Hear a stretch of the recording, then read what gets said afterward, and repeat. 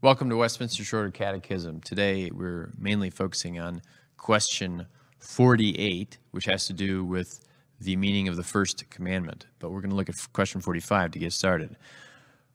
Question 45 Which is the first commandment? Answer The first commandment is, Thou shalt have no other gods before me. Question 48 What are we especially taught by these words before me? In the first commandment?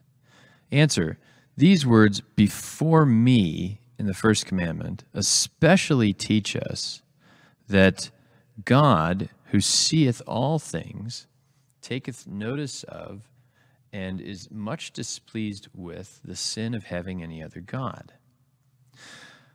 All right, what does this mean? We're on our third and final section of the first commandment. Now, most of the commandments and the questions about the commandments say, What's the commandment? What does it require? What does it forbid? Okay, next commandment.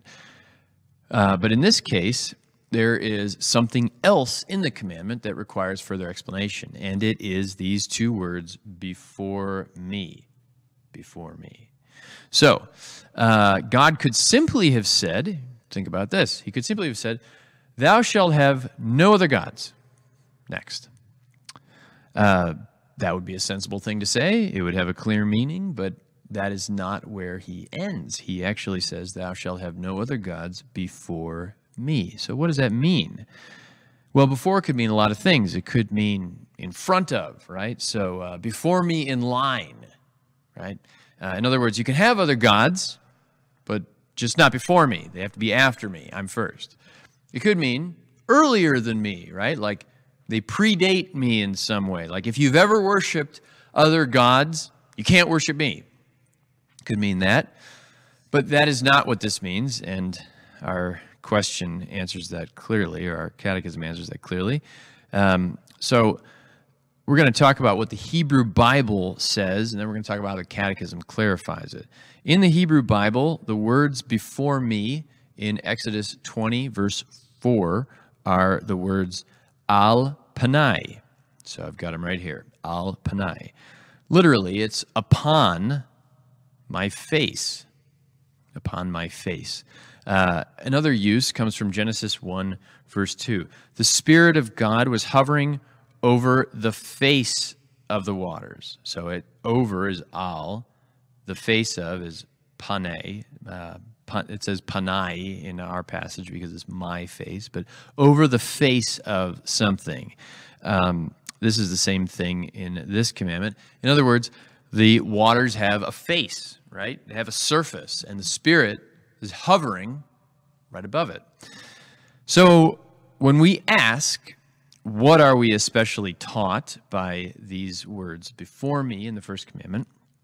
The answer is these words, before me, in the first commandment, teach us that God, who seeth all things, right? It's all before his face, he taketh notice of and is much displeased with the sin of having any other God.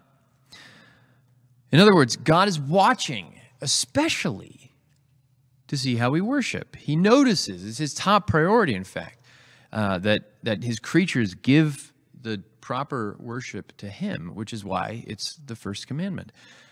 Now, why would God care so much where we give our worship? A lot of people have asked this. They've thought, well, maybe God is like a jealous boyfriend, or maybe He doesn't like to share. Maybe He's just a curmudgeon. All of those ways of thinking, though, underestimate the value of God and who he is. So think about it like this What if your dad had another wife and children, and he liked to spend some weeks with your family and some weeks with this other family? Would that be a good thing? Would your mom be happy about that? Would she say, Oh, I can share? Or would you be happy about that? No, you would hate it. You would feel betrayed, and so would your mom, and you would feel right you would feel correctly that your dad was doing something very evil and it was an act of betrayal.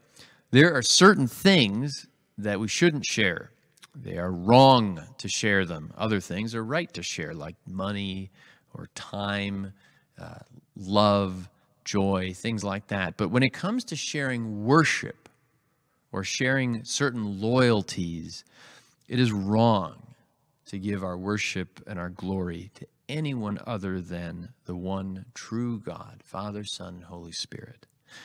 No one else deserves it.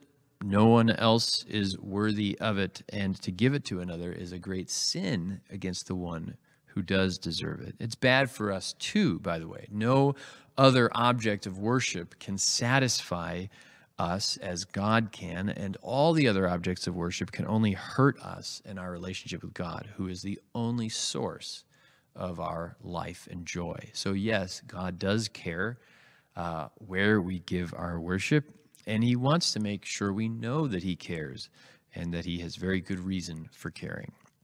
So, that's what this question is about. Let's pray. Father, we pray that you would always help us to love you for who you are and that we would glorify you more and more in all situations of life. Help us to know that you see us, that you care, that you see and accept our good worship, and you're displeased when we worship other things. And Lord, may we learn to glorify you and enjoy you forever. Amen.